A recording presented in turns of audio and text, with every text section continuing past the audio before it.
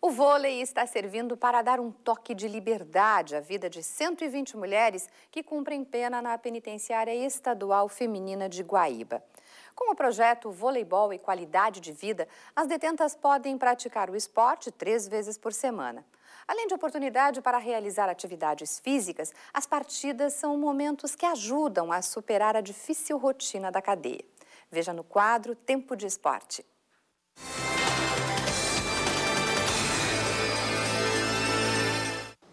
Poucas imagens trazem mais agonia do que a de um presídio. Imaginar a vida cercada por grades faz pensar no valor da liberdade. Já o esporte lembra movimento, divertimento, ultrapassar limites. Parecem sensações que não se misturam.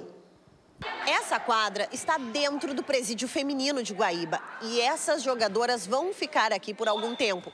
Elas foram condenadas pela justiça, a maioria por tráfico de drogas, o que não significa que elas não possam ter qualidade de vida por meio do esporte.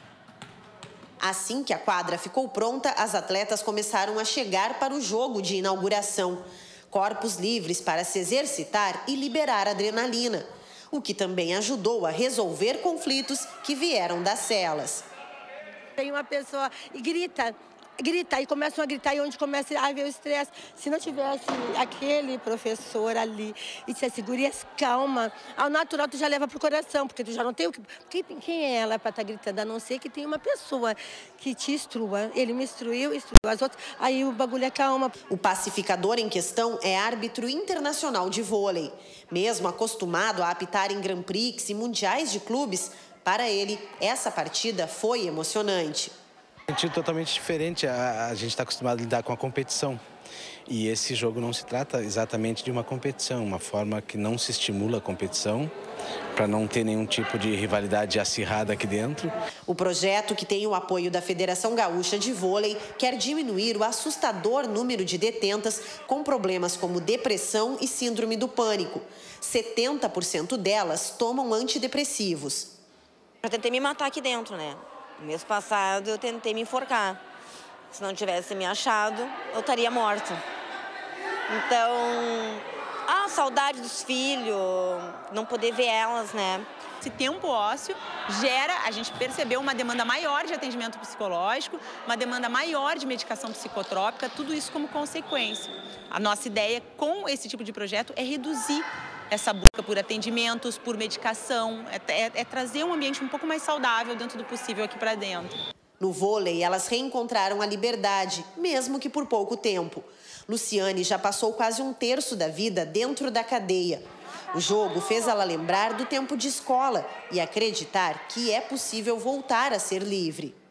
Me lembrei dos tempos que a gente tinha campeonatos na minha vila, no meu bairro, na escola, escola contra escola. Já joguei futebol já na escolinha feminina do Inter. Ah. Ou seja, te fez lembrar que tem uma vida lá fora, que pode ser boa? Posso mudar tudo, só eu querer. E na semana do Festival de Cinema de Gramado, as escolas também ganham salas de exibição. O projeto Cinema nos Bairros leva às comunidades curtas-metragens produzidos por alunos através do programa Educavídeo.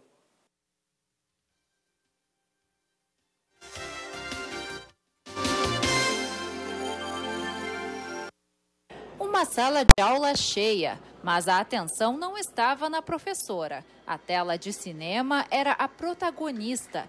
Essa experiência foi proporcionada a alunos, pais e professores de cinco escolas de gramado ao longo da semana. Dentro da programação está a exibição de filmes realizados por estudantes da rede municipal de ensino. É uma maneira de aproximar cada vez mais a linguagem cinematográfica com o nosso aluno, até porque é função da educação também. E tem dado muito certo. Primeiro porque eles se veem, né? São filmes, os primeiros filmes são os produzidos na própria escola. E é um momento que a cidade respira o cinema, então nada mais do que trazer esse momento especial para dentro da escola também. Antes de ir às escolas, os alunos que participaram do projeto Educa Vídeo tiveram a oportunidade de apresentar seus filmes no Palácio dos Festivais, uma experiência única para os jovens realizadores. Uma coisa que não tem igual, sabe? Tu chegar lá e ver aquilo lá, uma coisa que tu produziu, que tipo, é tua criação e vai estar todo mundo assistindo, e quando vê tá todo mundo aplaudindo, tá, faz ficar muito feliz, assim. O que eu mais gostei de fazer foi fazer o filme assim, vendo de uma outra visão, não só a da câmera, como a gente vê no cinema, assim, mas por trás das, da câmera. A gente desenvolve muita coisa, criatividade, uh, aprende como falar, atuar, é bem divertido e educativo. Hoje eles conseguem assistir um filme com outro olhar. Então eles começam a, a, a perceber detalhes de uma produção, uh, até na, na, própria TV, até produção de, de, de telenovelas, de né, uh, jornalismo também. Eles muitas vezes chegam na escola, prof, tal filme aconteceu isso, vamos tentar fazer. Então isso, isso eu acho que é muito bacana. Os curtas apresentados tinham dois temas distintos. O primeiro falou sobre bullying e o segundo contou uma história de terror, um dos gêneros preferidos da garotada. Levar os filmes às salas de aula faz parte da proposta de aproximar o Festival de Cinema da comunidade gramadense. Conversei com pais de alunos do Educavídeo e eles estão muito felizes, muito felizes por ver que o seu filho está se destacando. Ele veio prestigiar a noite, trouxe outros familiares com ele. Então, é uma, é uma coisa nova e é uma, é um, acho que é um novo olhar para essa comunidade, que afinal é a terra do Festival de Cinema.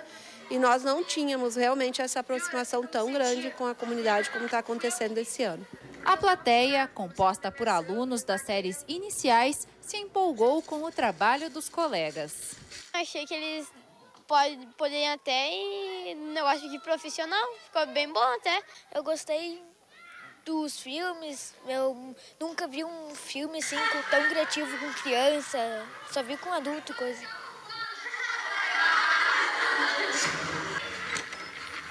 É, cara, você espaço na perturbada. Ah, nada, sai daqui. Posso falar, meu.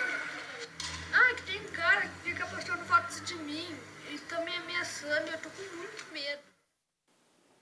E lembramos que a TVE transmite ao vivo neste sábado, a partir das nove da noite, a cerimônia de entrega dos Quiquitos no Festival de Cinema de Gramado.